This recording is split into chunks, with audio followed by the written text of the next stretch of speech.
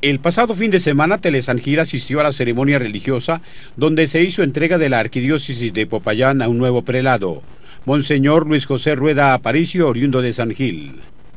A la primera autoridad del Vaticano en Colombia, representada por el nuncio apostólico, Telesangil le consultó sobre el sentido de la ceremonia presidida por él, y en la cual se oficializaba el nombramiento del nuevo arzobispo. Es el primer acto oficial del nuevo arzobispo, es decir, tomar posesión de la arquidiócesis y siendo arzobispo eh, metropolita, entonces como tal tiene responsabilidad, un poco de coordinación sobre toda su provincia eclesiástica, va a recibir también el palio, que es lo, el Papa se lo entregó el, el, 29 de junio en Roma y ahora mañana yo se lo voy a imponer como el símbolo de la jurisdicción que el arzobispo tiene sobre los obispos de la diócesis eh, cercanas. Sobre las cualidades encontradas en Monseñor, el nuncio apostólico explicó. Se necesita alguien como Monseñor Luis José, que tenga sabiduría, que sea piadoso, que sea un hombre de fe, que sea un hombre de gobierno,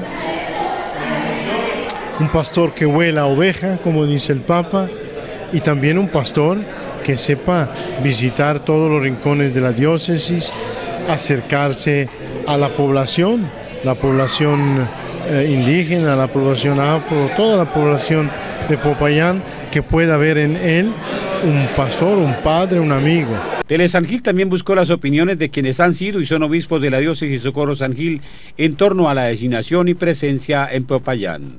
Estamos dándole gracias a Dios por este acontecimiento de el arzobispado de Popayán para Luis José.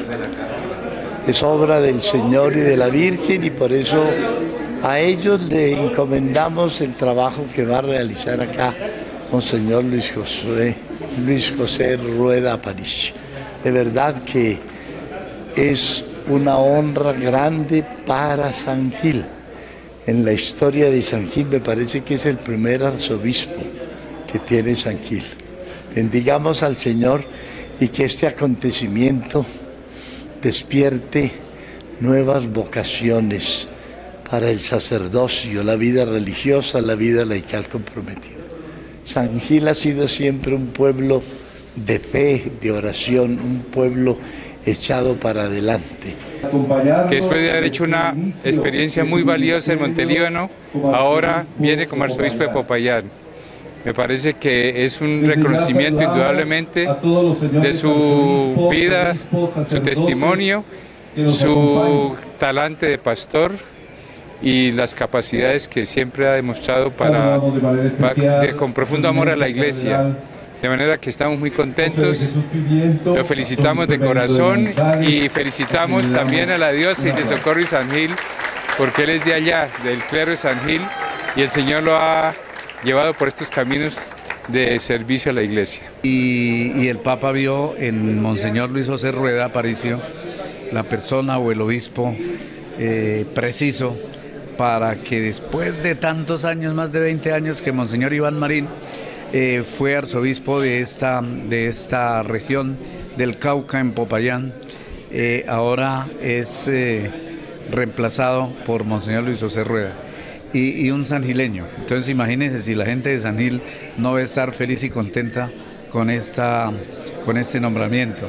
El nuevo arzobispo de Popayán en diálogo con la prensa habló de diferentes temas uno de ellos, acerca de la mirada que tiene la Iglesia en relación a los asesinatos de líderes sociales. Primero dijo que hay que apreciar el liderazgo que ejercen los líderes en las comunidades. A quienes ejercen el liderazgo comunitario, los animo en el nombre del Señor. No podemos dar un paso atrás nunca en estas situaciones. Debemos seguir adelante, debemos construir historia. No podemos permitir que los enemigos, que los lobos feroces que tratan de acabar con la unidad de nuestro rebaño triunfen.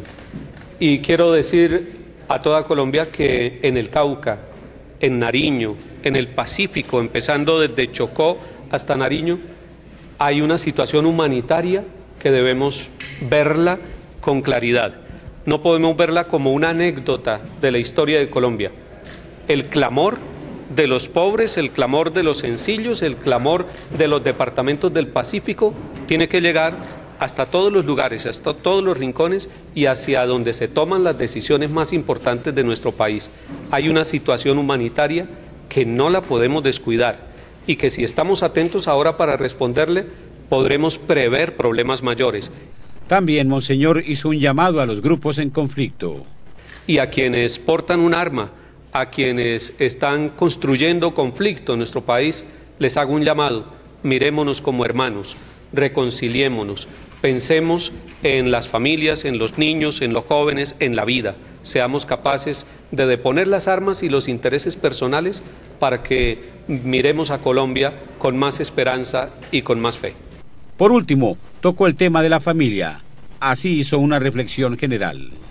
Los que tienen la misión de tener un hogar, una familia, sepa que tienen un tesoro que deben construir desde la casa, que tienen una doble misión las parejas, ser esposos, para que luego puedan cumplir la segunda misión que es ser constructores de la vida, defensores de la vida, defensores de la fe, de la fe, de los valores humanos. Y por lo tanto yo invito a todas las familias para que sientan y redescubran la responsabilidad de construir hogares en Cristo Jesús, como lo manda la familia, como lo manda la iglesia, que dice que cada familia es una escuela verdadera de humanismo